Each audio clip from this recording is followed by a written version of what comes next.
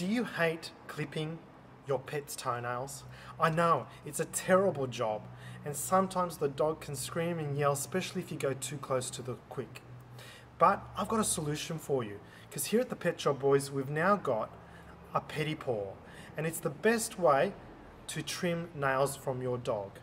It's a cordless pet nail trimmer. You put your pet's paw through this guide hole over here.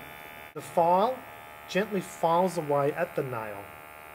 It also comes with your attachment, and if I just turn that off, your attachment cap which collects the waste from the nail.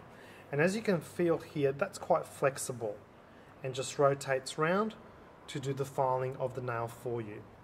Great device, certainly worthwhile having, and just makes the nail cutting experience, which is actually now nail filing experience with your pet, a much more joyous and happy event. Well, I hope you found that information on the Pedi Paws uh, pet nail trimmer informative and worthwhile, and I'll catch you next time.